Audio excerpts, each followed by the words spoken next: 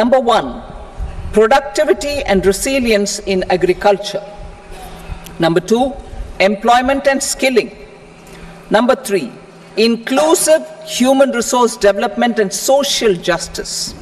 Four, manufacturing and services.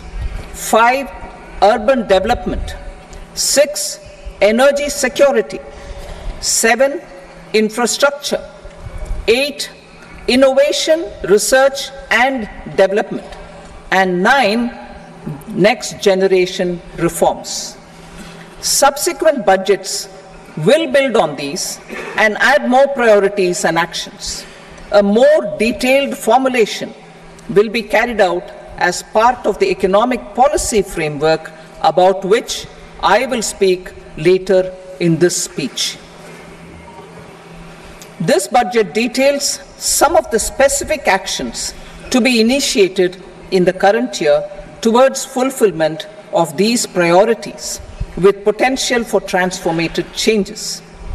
The budget also covers some of the previously made announcements with intent to strengthen them and step up their implementation for expediting our journey towards the goal of Viksit Bharat.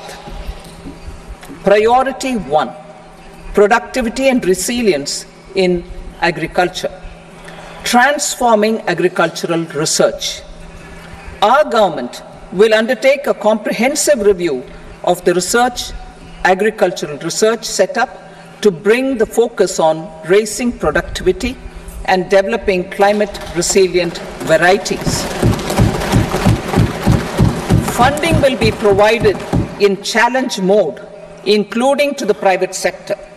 Domain experts, both from the government and outside, will oversee the conduct of such research. Release of new varieties. New 109 high yielding and climate resilient varieties of 32 field and horticultural crops will be released for cultivation by farmers. Natural farming.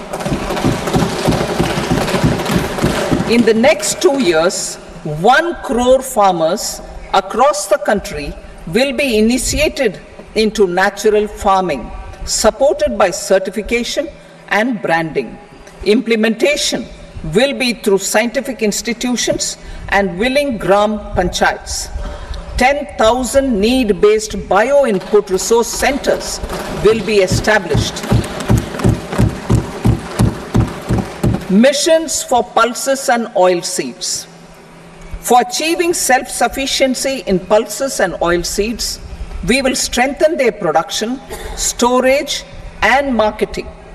As announced in the interim budget, a strategy is being put in place to achieve Atmanirbharta for oil seeds such as mustard, groundnut, sesame, soybean, and sunflower.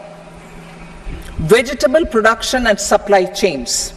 Large scale clusters for vegetable production will be developed closer to major consumption centers. We will promote farmer producer organizations, cooperatives, and startups for vegetable supply chains, including for collection and storage and marketing. Digital public infrastructure for agriculture. Buoyed by the success of the pilot project, our government, in partnership with the states, will facilitate the implementation of the digital public infrastructure in agriculture for coverage of farmers and their lands in three years. During this year, digital crop survey for Kharif using the DPI will be taken up in 400 districts. The details of 6 crore farmers and their lands will be brought into the farmer and land registries. Further, the issuance of Jan Samarth based Kisan credit cards will be enabled in five states.